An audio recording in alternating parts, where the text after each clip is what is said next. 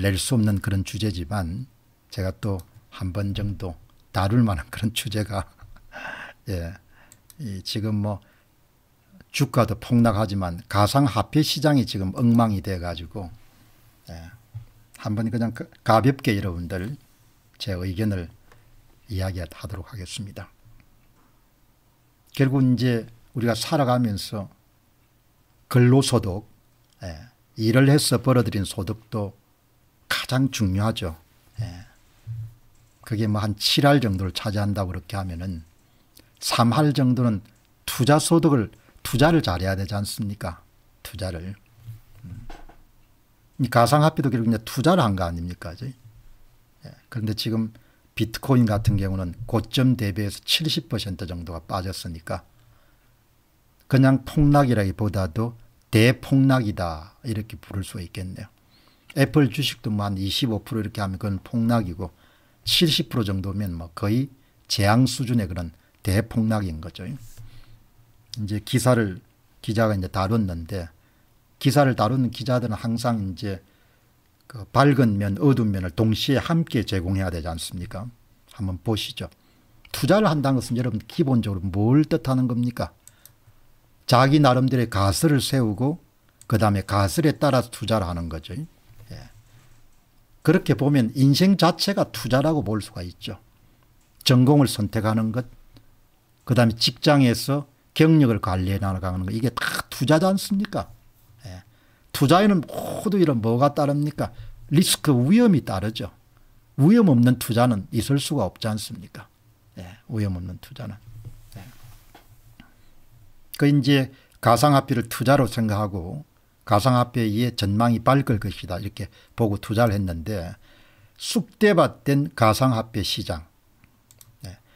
우량 비트코인에는 약이라고 예, 가상화폐는 이대로 끝나는 것인가 결론을 낼 수가 없죠. 월스트리트 저널이 가상화폐 시장의 대학살 파티가 끝났다 이렇게 하지만 월스트리트 저널의 기자조차도 파티가 끝났는지 일시적으로 파티가 끝났는지는 본인이 알 수가 없는 거죠.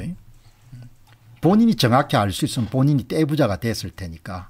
예, 그러니까 항상 이런 기사들을 우리가 볼 때 이것은 그냥 그 사람의 가설이다. 그 사람의 주장이다. 이렇게 보시면 좋겠죠.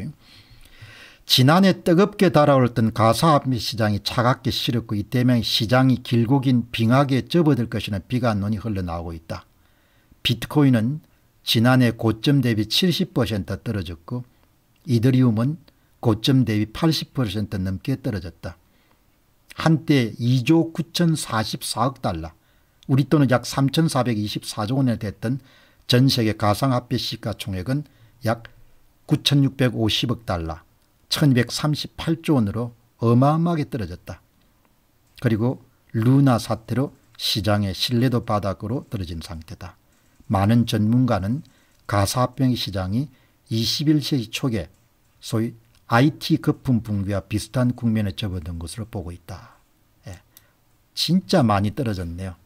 왼쪽에는 비트코인 가격 추세입니다. 예. 비트코인 가격 추세고 이제 오른쪽에는 그러니까 2017년 7월 달에 2,500달러 수준에 샀던 사람이 6만 달러에 팔았으면 도대체 수익이 얼마 되는 겁니까? 46에 24, 한 24배 정도가 되는 거네요. 예. 그리고 이제 이것이 다시 9,650달러로 이렇게 떨어진 거죠. 예. 아주 2만 1,000달러로 떨어진 거고 전 세계 가상화폐 시가총액이 여러분들 이렇게 급락이고 대폭락인 겁니다. 예. 저는 이런 부분에 대해서 뭐 제 자신이 이렇게 무슨 결론을 낼 수 있는 그런 입장도 아니고 그렇게 해서는 안 되는 거죠. 예. 극단적인 비관론을 펼치는 사람들은 최악의 상황은 아직 끝나지 않았고 대부분의 가상학교가 빅제로 아무런 가치도 남지 않는 종이가 될 것이다. 그리고 앞으로 10년 내에 가상화폐 가운데 99%가 사라지게 될 것이다. 뭐 이런 이야기를 극단적인 비관론을 펼치는 사람이 있고 완전히 또 다른 논을 펼치는 사람이 있죠. 2000년 초반의 닷컴 버블 붕괴처럼 가상화폐 시장이 장기간 침체에 빠지더라도 비트코인, 이드리움 같은 우량 코인은 살아남을 것이고 거품 붕괴가 장기적으로 가상화폐 시장에 도움이 될 것이다.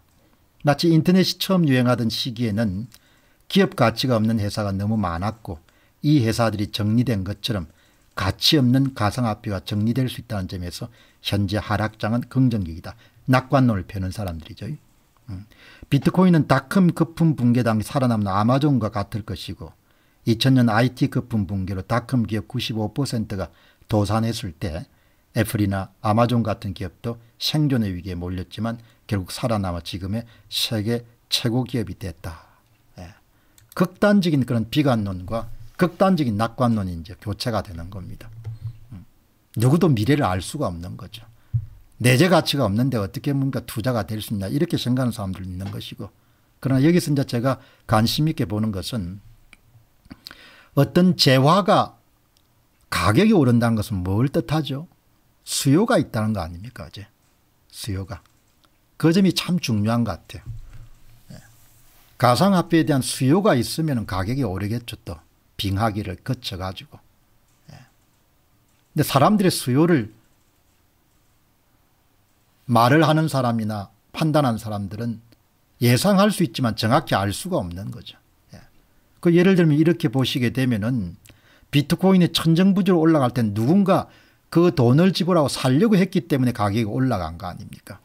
지금 살려고 안 하기 때문에 가격이 떨어지지만 또 그 언젠가 가격을 여러분들 살, 살, 그게 귀한 것이다 생각해 가지고 살려고 하면 또 가격이 오를 거 아닙니까?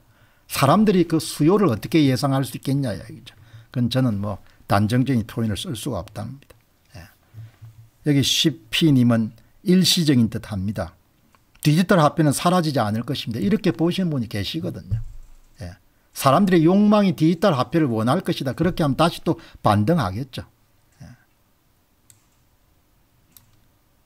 그런데 여러분들이 여기에 의견 남기신 분 가운데 굉장히 인상적인 의견이 두 분이 있기 때문에 그 의견은 여러분들 우리가 한번 귀담아 기울일 수 있을 정도로 뭐 어느 전문가보다도 예리한 그런 이야기입니다.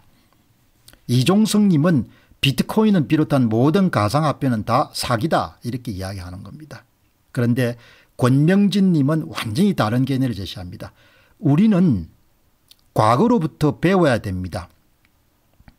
가상화폐 비트코인이 정점에 4분의 1, 5분의 1까지 폭락한 적이 지금까지 네다섯 차례 있었습니다. 그리고 그 결과는 모두가 알고 있다시피 이전 정점의 몇 배 수준으로 다시 폭등했습니다. 폭등하게 되면 내가 왜 그때 안 샀을까 땅을 치면서 후회하지만 지금 같은 순간이 와도 새가슴들은 사지 못할 것입니다. 아마도 그 결과 역시 과거와 크게 다르지 않을 것입니다. 탐욕의 힘을 무시하지 마시기 바랍니다. 탐욕의 힘을 무시하지 마시기 바랍니다. 탐욕의 힘을 무시하지 마시기 바랍니다. 이게 뭘 뜻합니까? 수요가 있는 곳이 가격이 오른다는 겁니다. 수요가 있는 데서 여러분들 가격이 오른다는 겁니다.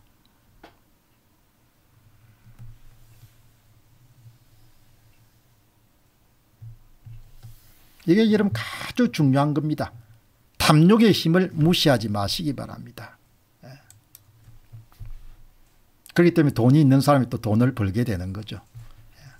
예. 여유 자금 있는 사람들이 이때 또 사모으겠죠. 예. 그렇게 돌아가는 겁니다. 여러분 여기서 이제 제가 말씀드리고 싶은 것은 여기 이종성 님처럼 비트코인을 비롯한 모든 가상화폐는 한마디로 모든 사기입니다.